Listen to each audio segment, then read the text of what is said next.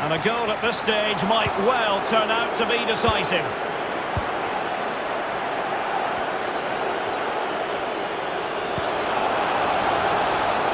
And Mohamed Salah now. And a goal! This is why we adore this game.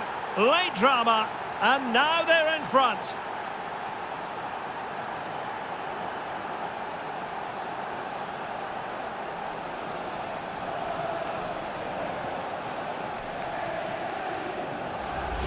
Well, as you can see, he doesn't mess about here, does he? He's strong, well-balanced and skillful.